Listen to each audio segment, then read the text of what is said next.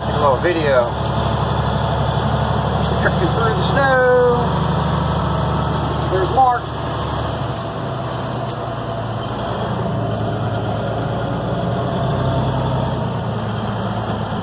See what the neighbors are up to.